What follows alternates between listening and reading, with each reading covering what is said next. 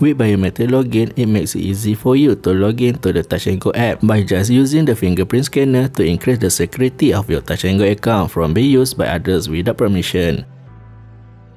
So in this video, we want to share with you how to activate biometric login in the Touch Go e-wallet app.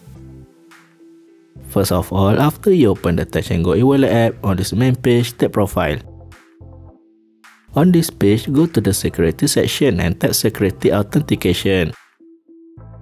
Then tap this button to activate the biometric login function. Finally, you have successfully activated your biometric login. To try biometric login, you can close and reopen the Touch Go e-wallet app. If you encounter any problems or have any questions, please contact Touch Go e-wallet customer service.